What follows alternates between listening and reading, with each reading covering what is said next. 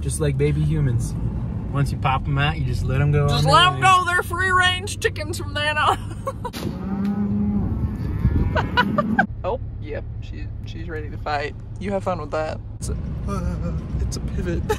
All right, guys. Welcome back to Ag with Emma. Today we are in Wyoming um, with Brent. And I recorded a podcast with Brent. So if you guys are true fans, you've listened to the podcast and you'll know that Brent just sends it. So today we're just gonna send it and it's gonna be fun. I think we're gonna go. What are we doing today? Right now, we're going to put out minerals so you can look at all the baby calves. Yeah, buddy, baby cows. Also, if you want to know more about Brent, we're not gonna waste the time in this video, but he's basically a he's a Wyoming cowboy from Pennsylvania, and I will link the description to his pod. Uh, I'll put the I'll put the description. Put the podcast link in the uh, description. that. So check it out if you want to learn more about Brent. So since we are putting out mineral right now, we will tell you the differences and why he's putting it out. So basically, the mineral we're putting out right now is just formulated to help them get back, in industry terms, get back in calf or get ready to conceive, so that this summer when we put bulls out, they're they're ready to do the deed and get bred.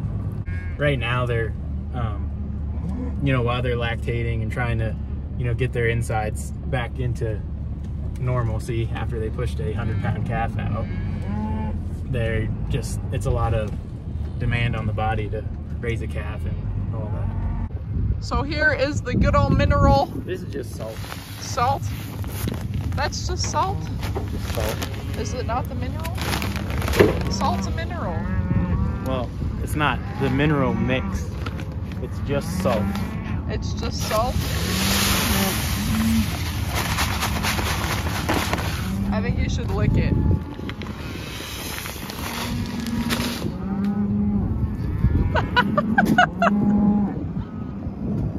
so if you can't hear because of the cows, I'm sorry. We're ranching. So that is mineral and they're gonna put it in these little tubs right here. And then this other stuff, salt. And apparently there's a difference. but Nothing on. Look, it says calcium, phosphorus, magnesium, potassium, all that shit. So it's not just salt. I just classify salt as a mineral. Salt is a mineral. But there's a mineral mix and then just salt. it's slang term. So they have a lot of babies running around right now, and it's calving season. So we are gonna have Brent kind of explain what he does during calving season. Some of not the risks, but like there's good and bad to everything, and part of agriculture is the good and bad. So here you go, talk away. So, lesson number one of any livestock, not just cattle or whatever.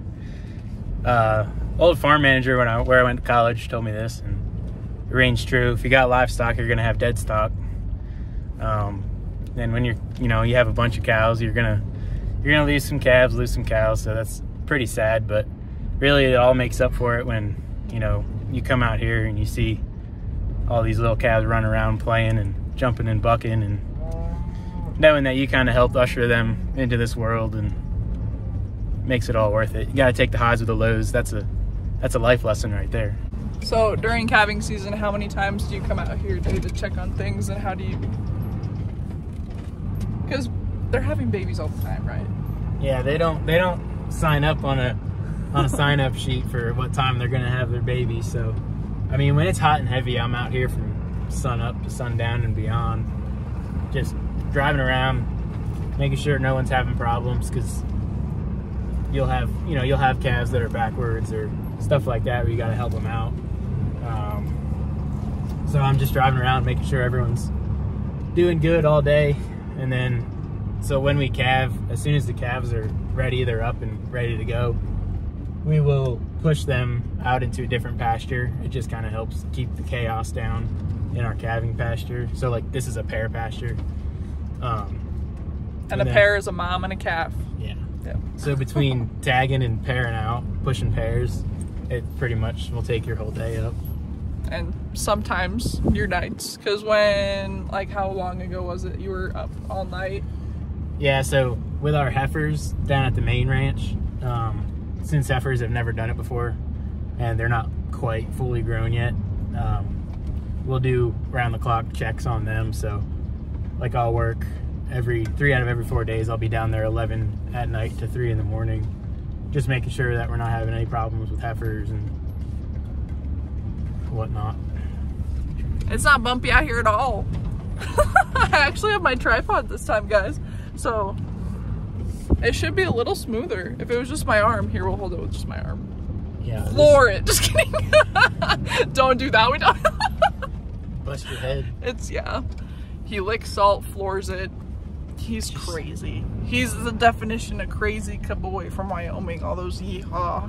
I ain't no cowboy. Call me fingers because I ain't no hand.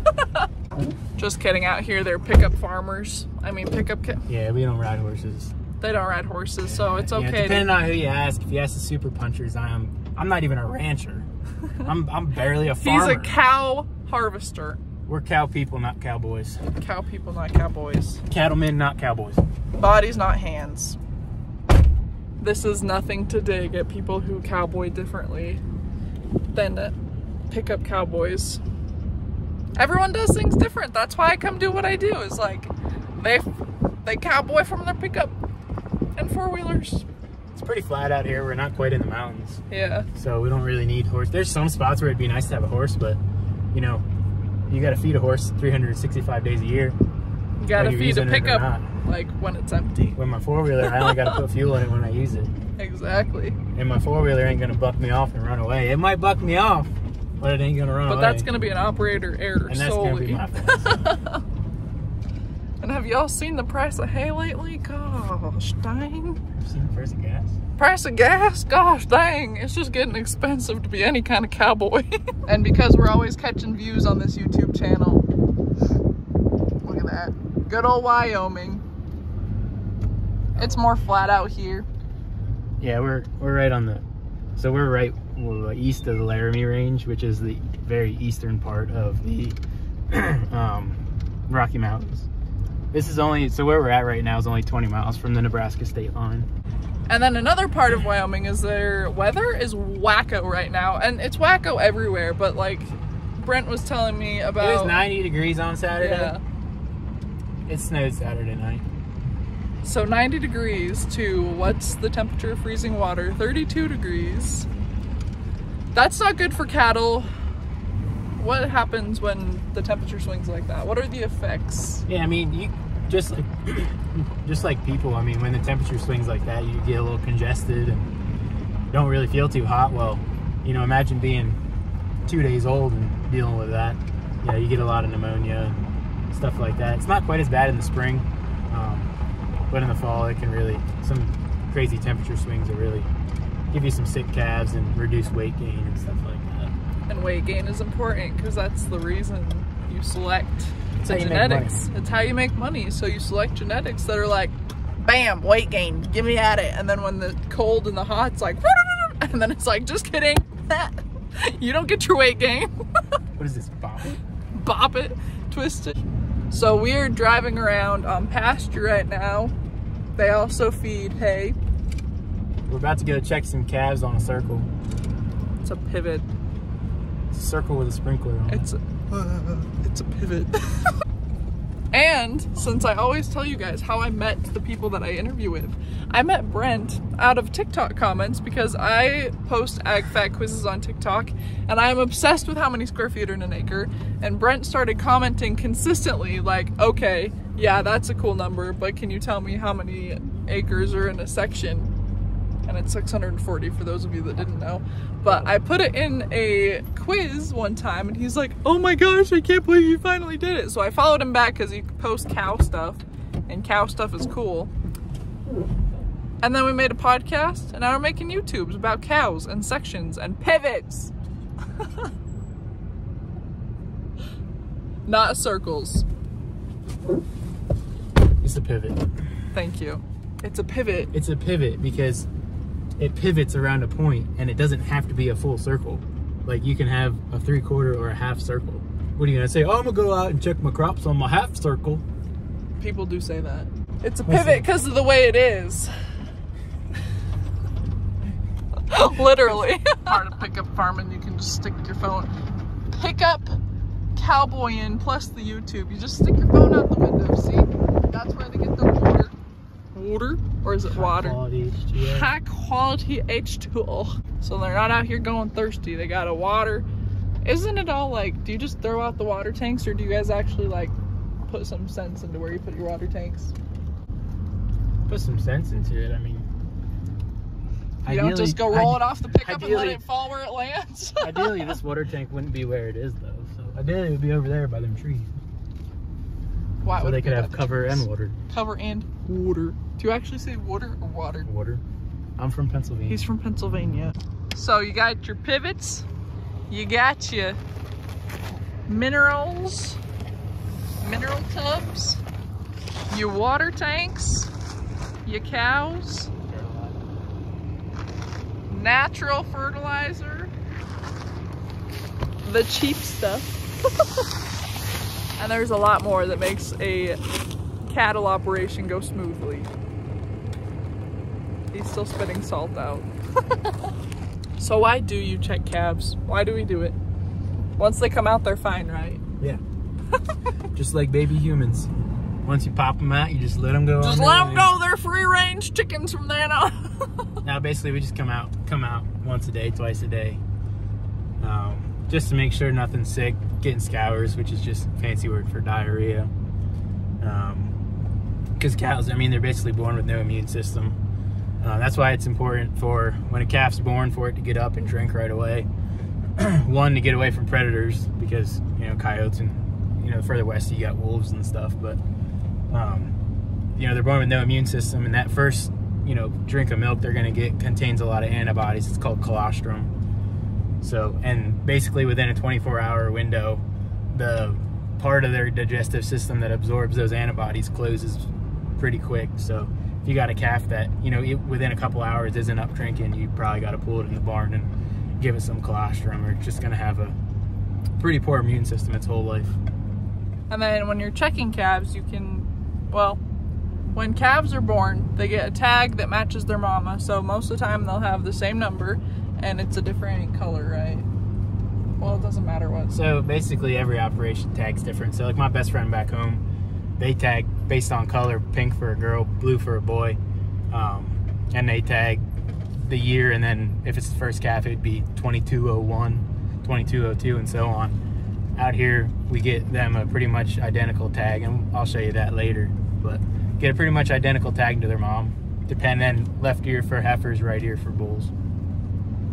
Every operation's different. That's just, it's, I've talked about it in videos before. I haven't talked about it specifically, but I've had other guests and tours and interviews that have discussed the importance of tagging and records within an operation. So tagging calves is not to be mean, it's to keep track of things and like not just the number, but like vaccinations and Anything you do, you should keep track of it. Yeah. basically what I'm trying to count right now though is I've probably worked on half a dozen different operations and I can guarantee you every one of them has a different tagging style, has a different vaccination and medical protocol, has a different record keeping protocol.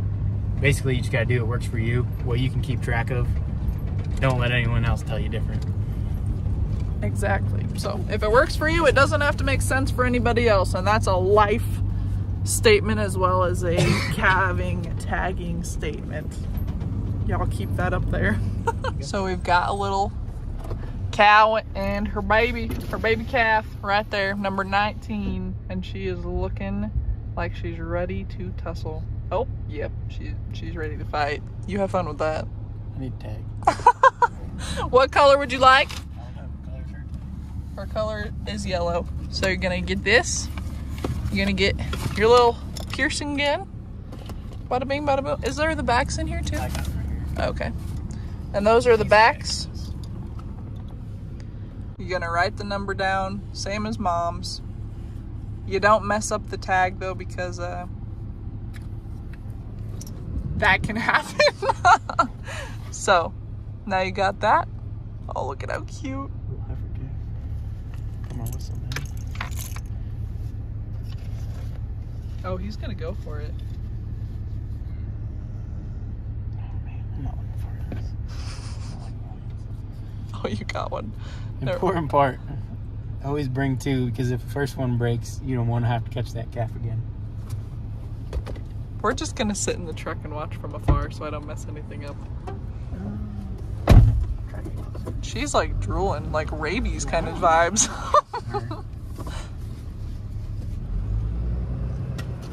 Usually the rock face aren't too bad. It's the that you got. Mhm. She might not be bad.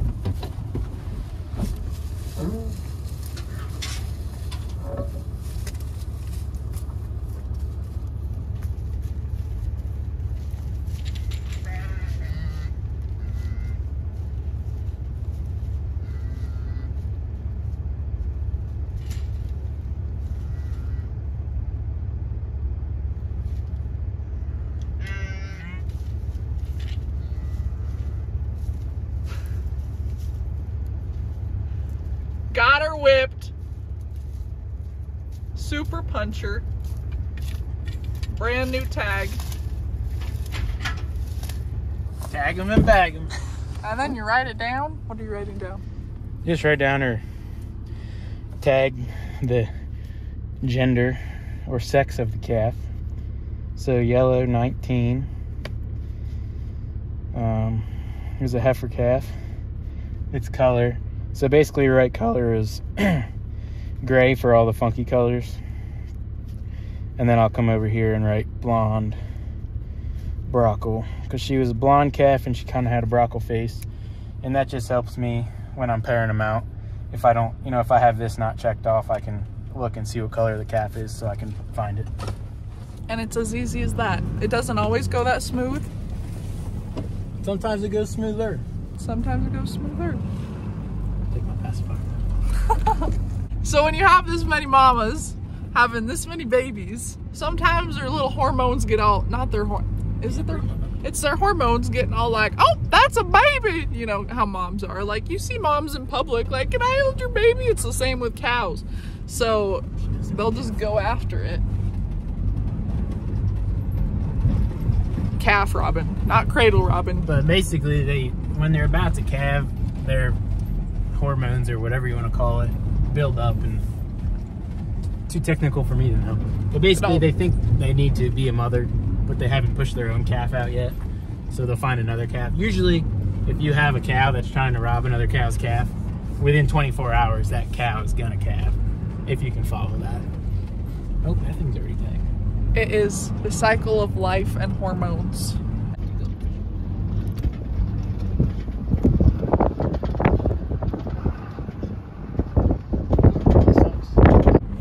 So that is all we have. A good old gist of cows. Cows. Cows. Eat beef. Eat beef. Beef, it's what's for dinner. We are farmers. Bum ba dum bum bum bum bum. Anyways, catch me Ag with Emma at all your other platforms. Thanks for watching. Make sure you like, share, subscribe. Catch me at Poncho dot Cattleman. I don't know what the hell it is. Poncho Cattleman on TikTok. I'll tag his TikTok in the description of this video. Again, thanks for watching. Brent, thanks for your time. Any closing words? Eat beef. Ah, Hasta la pasta, folks.